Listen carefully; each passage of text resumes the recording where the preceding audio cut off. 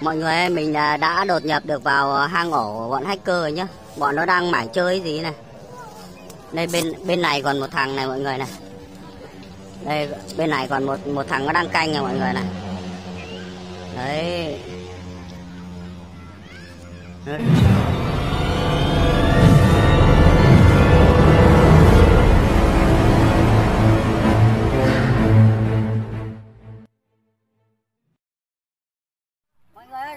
Mình sẽ dùng à, flycam để tìm kiếm xe xem thằng Châu bị bọn hacker nó bắt nó đang giam ở đâu nhá. Đây mình à, đang tìm một vòng quanh quanh đây xem bọn nó đang giam thằng Châu ở đâu. Mình đoán là khu này có nhà hoang, bọn nó sẽ giam ở nhà hoang đấy. Đúng rồi, mình thấy rồi, mình thấy rồi, mình thấy bọn nó đây rồi. À, bọn nó đang đùa nghịch cái gì này mọi người này. À, bọn nó đang nghịch cái gì đây? Đây rồi bọn đang người kia đây. Đây mình xem nào mình xem nào. Trong tí nữa mình sẽ cho đàn em giải cứu. Mình sẽ cho flycam à, xuống à, xuống dưới một tí. Mình sẽ cho flycam à, xuống một tí. Rồi mình thấy một nói rồi. Cho thấp xuống một tí nhá.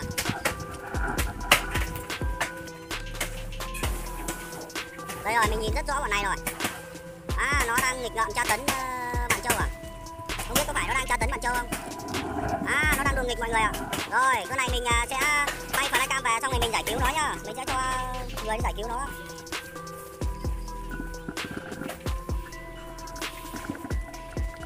Mọi người ơi, mình à, đã đột nhập được vào hang ổ của bọn hacker nhá. Bọn nó đang mải chơi gì này. Đây bên bên này còn một thằng này mọi người này.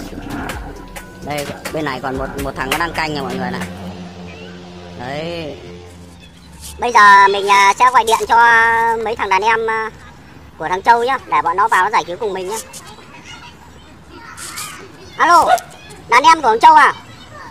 Chúng mày vào luôn căn nhà hoang ờ, ở phố ờ, Hạ Long này nhá.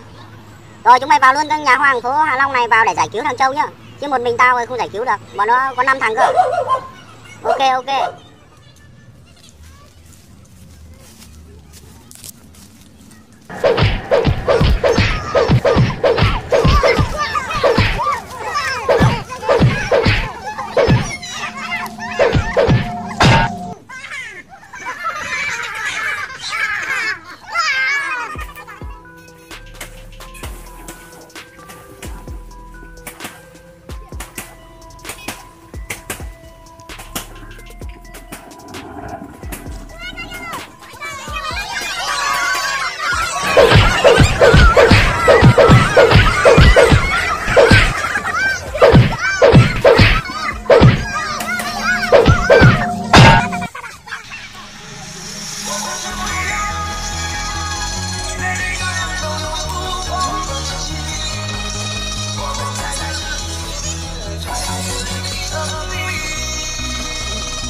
Cảm ơn à, anh em.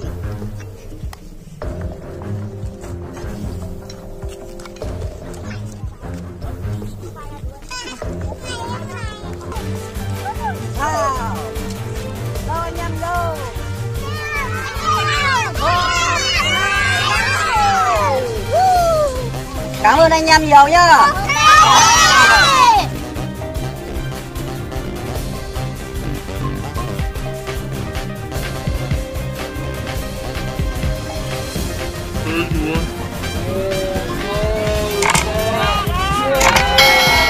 Đã giải cứu xong uh, thằng Châu rồi nhá.